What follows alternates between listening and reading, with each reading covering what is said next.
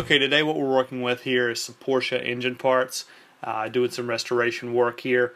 This is magnesium, and magnesium does clean a bit differently than aluminum. I mean, the finish does come out the same, uh, pretty much. Maybe not as bright to an extent, uh, but the cleaning process is all the same here uh, doing some, some wet blasting or some vapor blasting. Uh, in the video here you can actually see we are using a very fine ceramic bead um, in place of glass bead just to get a little bit quicker clean, uh, a little faster cut, but the finish is very similar because it is ceramic bead.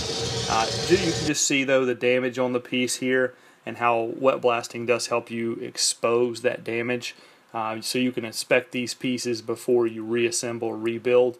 Um, and just the level of detail and cleanliness, I mean, you can expect every time from this process. And uh, if you have any more questions, please give us a call or shoot us an email. We'll be glad to help with your project or process. Thanks for watching.